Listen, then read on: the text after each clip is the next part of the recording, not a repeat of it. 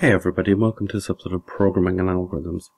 In this episode we're going to look at modularization. That is how we can wrap small sections of the code, give it a name, wrap them in a module or a method or a function, and then they, they can be reused by a range of different programs in a range of different circumstances. So if we look at the prime number calculator, we can see that there's two parts to the program really. One part which determines if the number is prime or not, and the other prints out the message that it is prime or it isn't prime. So we could wrap this part of the program in a method or a module. We give it a handle and then the rest of the program, which we'll call the main part of the program, can, can call it or invoke it. So if we call using the def command, this we'll call it is it prime. And then we put an open bracket, close bracket, and colon afterwards. Then we just indent everything else that we want to be included within this library or module or method, whatever name we want to call it. Module I'm happy with at the moment. And then we put our end is it prime at the end here. So what will happen if this is the rest of the program then? So I might even say main program here.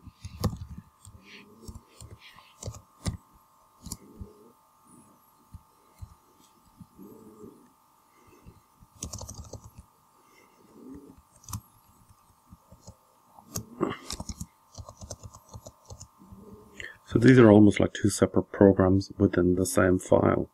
This program is at prime, just the calculation whether something is prime or not. If I type in is it prime here,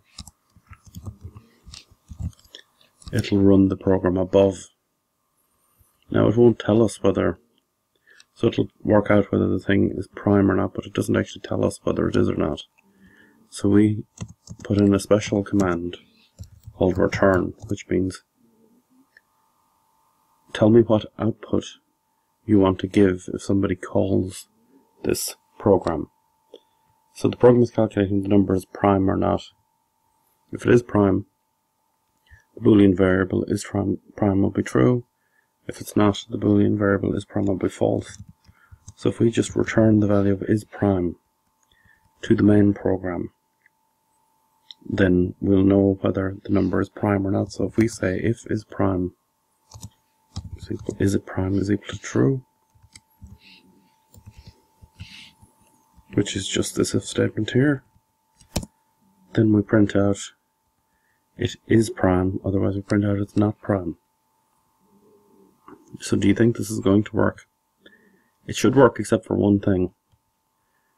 If this is a separate program to this, then when the program tries to print out A this main program doesn't know what A is because the only thing it knows from the is it prime program is the value of is prime.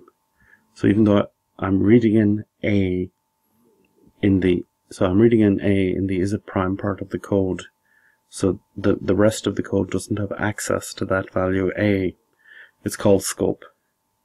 And we'll show this is true by saving and running this. So if we save it and run it, when we type in the number 7, it'll crash because it doesn't know what number I just typed in in the main program. But if we don't try and print out A, and we just say the number is prime or not prime, and we save that and run it. Type in 7. 7 is a prime number, and let's run it for 9. 9, not a prime number. So this is the only part of the program that's really running. When it gets to this is a prime call, it jumps to here and then runs this program. For the number 7 it returns is prime to be true, and for the number 9 it returns is prime to be false. So that's for prime numbers. Right, so let's replace the code here with the code for the Fibonacci program and let's see how we modularize the Fibonacci program. Well again we'll create a method def or a, a module. Let's say check fib. And again let's open bracket, close bracket and colon. And we need to indent everything that we want to be within the scope of the program.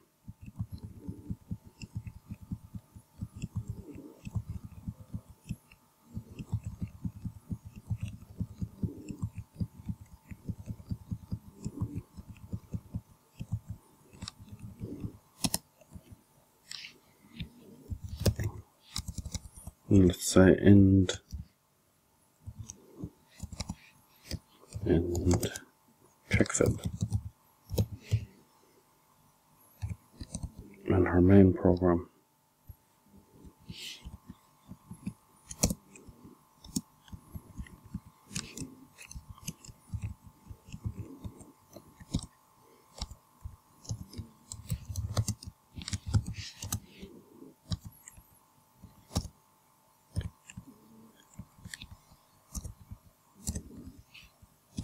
In this one, let's just uh, get the main program to do check fib first.